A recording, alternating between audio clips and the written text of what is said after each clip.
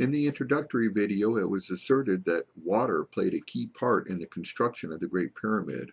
Also, we contend that the Great Pyramid was built level by level.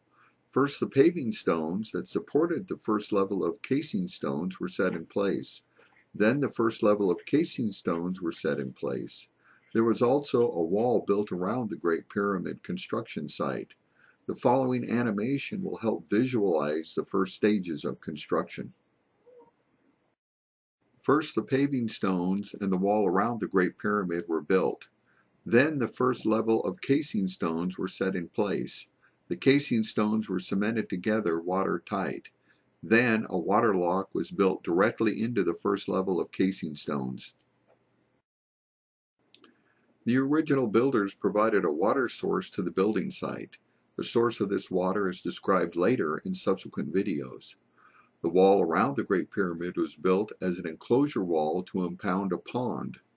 The first level of casing stones, precision cut and cemented together watertight, also impounded a pond. These two ponds were at different levels. The pond impounded by the casing stones was of a higher level than the pond impounded by the wall around the Great Pyramid. The water lock built into the wall of casing stones allowed stones on barges to travel between the lower pond and up into the higher pond. Water entered the area impounded by the enclosure wall built around the Great Pyramid construction site. Water filled the area impounded by the first level of casing stones. The casing stone pond is higher than the enclosure wall pond. These two ponds are connected by a water lock. The stone on a barge can move from the pond impounded by the enclosure wall up into the pond impounded by the casing stones through the water lock.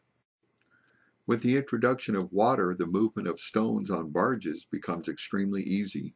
The use of water locks to move cargo is fast, powerful, and consistent with the direct physical evidence on the Giza Plateau.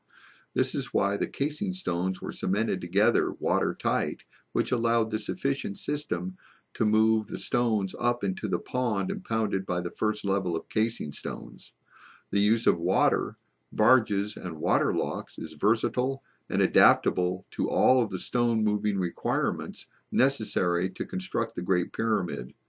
The techniques used to move this and set in place the stones of the Great Pyramid will be described in subsequent videos, but for now, let's watch the stone on barge move from the lower pond up into the pond impounded by the casing stones.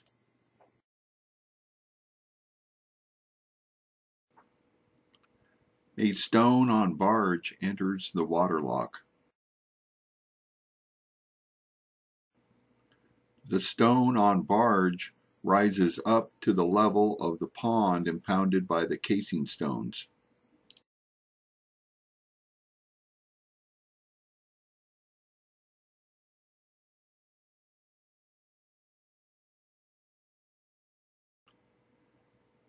The stone on barge leaves the water lock and enters the pond impounded by the casing stones.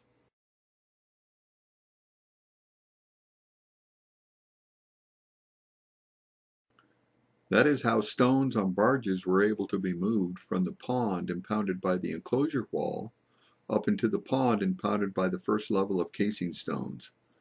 But how was that heavy casing stone weighing up to 16 tons, moved from the barge to its final resting place. How did the barge with casing stone get to the building site from the Nile River?